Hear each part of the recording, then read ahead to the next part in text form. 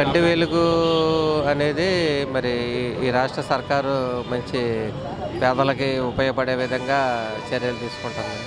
ఎంతోమంది వృద్ధులు సరైనటువంటి ఆర్థిక సహాయం లేక కళ్ళు కనపడక వాళ్ళు అవస్థలు పడతా వాళ్ళ పనులు వాళ్ళు చేసుకునే స్థితి లేక వాళ్ళు అనేక రకాలుగా ఇబ్బందులు పడుతున్నట్టు మనం చూస్తున్నాం. మరి ఇంతవరకు ఏ రాష్ట్ర సర్కారు కూడా సరైనటువంటి చర్యలు తీసుకున్నటువంటి ఏది కనపడలేదు. కానీ ఈ రాష్ట్ర ప్రభుత్వం మటుకు కంటి వెలుగు అనే పథకాన్ని తీసుకుని వచ్చి ఈరోజు చిన్నారులకైనా గవర్నమెంట్ స్కూల్లో చదివే వాళ్ళకైనా ప్రైవేట్ స్కూల్లో చదివే వాళ్ళకైనా సరే ఆ పిల్ల ఆ పిల్లలకి ఎంతవరకు వాళ్ళకి ఇది చూపు తగ్గింది ఏంటనేది డాక్టర్ చేత పరీక్షలు చేయించి వారికి కావాల్సిన కళ్ళద్దాలు కానివ్వండి మరి ఏమైనా ఏమైనా కానివ్వండి వాళ్ళు దగ్గరుండి ప్రోత్సాహాన్ని అందించి వాళ్ళకి సరైన సమయాల్లో పిల్లలు చూపు అంధత్వం రాకుండా మరి వాళ్ళు ఎన్నో జాగ్రత్తలు తీసుకుంటూ చేస్తున్న కార్యక్రమాన్ని నుంచి ప్రజల నుంచి అయితే మంచి స్పందన ఉంది.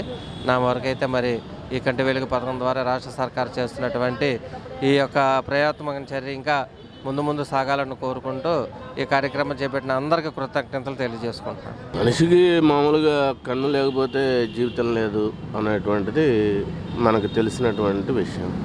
అలాంటిది ఆ ప్రోగ్రాం వలన పది మందికి చూపు తెప్పించటం అంటే అది గొప్ప విషయంగా భావించవచ్చు. పథకం పెట్టడం అనేటువంటిది ఏదైనా పది మందికి ఉపయోగపడేటువంటి చేయటం అనేది మంచి పథకమే అవుతుంది. ఇప్పుడు కన్ను కనబడింది మనిషి ఏం చేయగలడు? అసలు మా వాడు ఏం చేయాలన్నా ముందు కంటి చూపు కావాలి. ఆ కంటి చూపు ప్రభుత్వం ఇప్పిస్తున్నాము అని అంటే ఇప్పుడు నేత్రదానం అన్ని దానాల్లోకి నేత్రదానం గొప్పదే అని చెప్పని ఐ బ్యాంకులు పెట్టుకుని ఐలు డొనేట్ చేసేవాళ్ళు ఉంటారు అటువంటి వాటి ద్వారా ఒక కన్ను లేని వాళ్ళకి చూపు తెప్పిస్తే బాగుంటుందని చెప్పిన అటువంటిది అభిప్రాయం చెప్పచ్చు.